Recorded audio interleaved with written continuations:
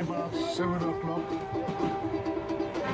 We are 24 hours on the way from Tashkent to Bishkek.